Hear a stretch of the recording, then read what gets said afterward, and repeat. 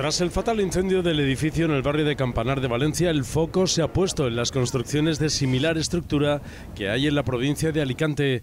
La inmensa mayoría de los inmuebles construidos en Alicante son seguros, pero se abre la puerta a cuestionar la seguridad en los que generan dudas y se pide que se revisen los protocolos, algo que hasta el momento no entraban a formar parte del imaginario de la población.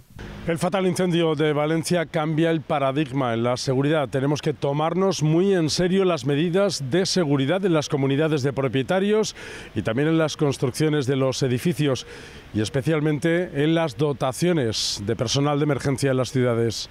Solo el 1% de las viviendas de la provincia de Alicante tendrían sus fachadas el mismo material inflamable que el edificio de Valencia.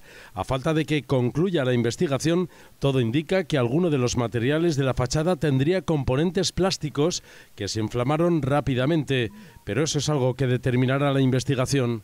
Pues ahora lo primero es investigar las causas del incendio, ver esa evolución que ha sido un poco atípica, un poco no, ha sido completamente atípica.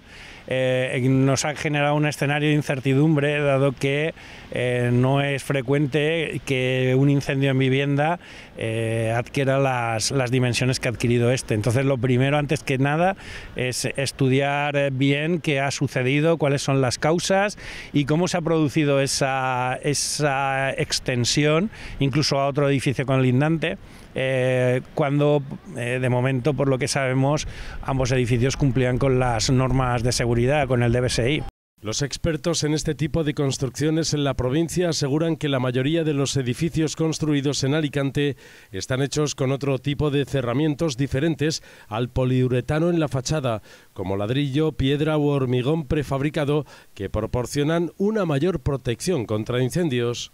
A falta de confirmaciones oficiales, todo apunta que la innovadora fachada ventilada del edificio podría haber sido la responsable de la aceleración del incendio que ha calcinado este edificio con dos torres de 14 plantas del barrio de Campanar de Valencia.